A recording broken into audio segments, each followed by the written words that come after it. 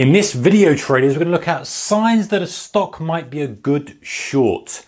Stay tuned.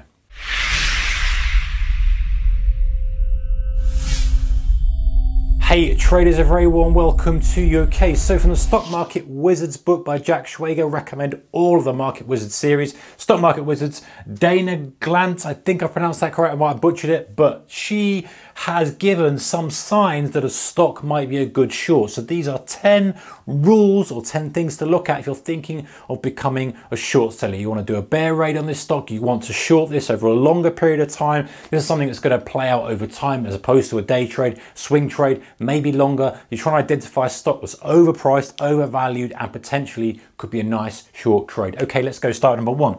Number one is high receivables. So in other words, they've got a large outstanding bill for goods or services. That's a red flag number one in her list. Number two, change of accountants. Pretty self-explanatory, I think, with this one. If an accountant says, I don't want to touch this thing with a barge pole, I want to move on, perhaps it's being asked to do something they don't really want to do, or perhaps they've seen something they don't like. The point is they've gone, hey, I don't want to get involved in this, and they change accountants. Of course, the PR is going to say we've done this because of this, this, and this, and this, and it's going to look all very nice. But underlying thing is the accountant doesn't want to lose the business, but they've lost the business. Why they lost the business? Why they change accountants? A big thing to do without reason to do it. All right, number three, high turnover in chief financial officers. Same kind of thing. The chief financial officer is looking at saying, I do not like the look of what's going on here. We look vulnerable. I don't want to be on this sinking ship. I'm out of here. I'm going to another company. You might get another one coming in, sees the same things. You've got that high turnover. This could be a red flag that this company is potentially a good short, especially if they change accountants, so you've got high receivables. Okay, number four. The company will blame short sellers for the decline. So they'll come out with a press release and say, hey, we think the short sellers are causing the decline in stock, when ultimately you know, very rarely does that ultimately the case. The case normally for a decline in stock is that people don't want to buy the thing. Yes, short sellers might be exaggerating and selling it, but if it's a good value stock, you can have as many short sellers in the world, but if people are buying it because they believe it's a good investment, they're going to clear short sellers out. We've seen loads of examples, guys, with, with stock, stocks that have absolutely ripped the faces off shorts. They've gone many, many multiples higher. Short sellers have been very, very aggressive on it, but ultimately it has no use to it. So that is complete nonsense. If someone comes out and says that, another red flag. All right, number five, changing the business model to the latest trend. We've seen this a lot with blockchain, uh, in the blockchain boom.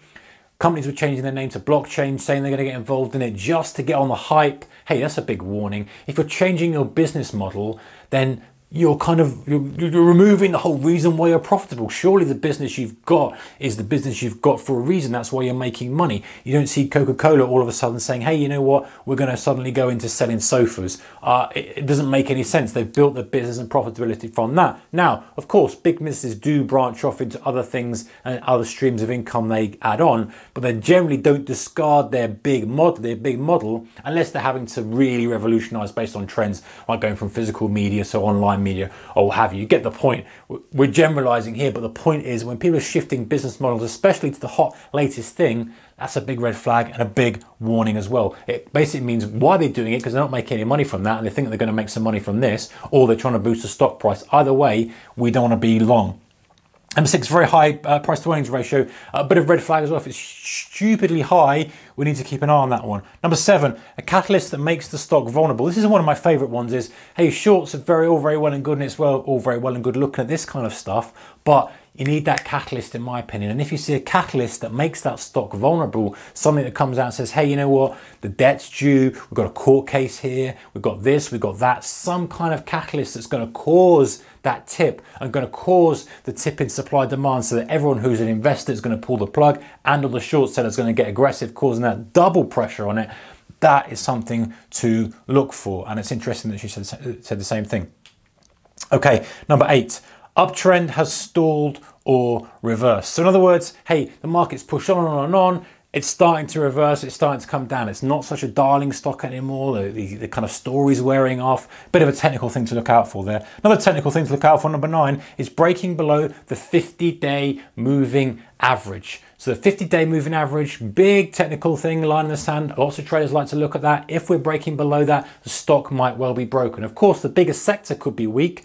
But another technical thing, come from the uptrend, going below the 50 day technical reason, you've got the fundamental reasons in there, you might be looking at a good short candidate. And number 10, high price single product company with a low barrier to entry. This is a more fundamental uh, aspect. If they're producing something that's got a very high margin, but again, the barrier to entry is very low, not preventing any other competitors coming in and saying, hey, we can produce that cheaply better and it doesn't cost as much to get on board, they are very vulnerable. Maybe they were first to market and that's their first jump, but now, hey, if it's a high price ticket and someone else is coming in and see there's a massive, they've been pioneers and create a market for it, someone else comes in with more money, low barrier to entry, sets it up better, sets it up cheaper, these guys are only going to be riding on their brand, which okay, but makes them very, very vulnerable. All right, guys, there's 10 signs of stock might be a good short. Let me know your thoughts in the comment section below if you want to add any more to those. Otherwise, I'll see you next one. Take care.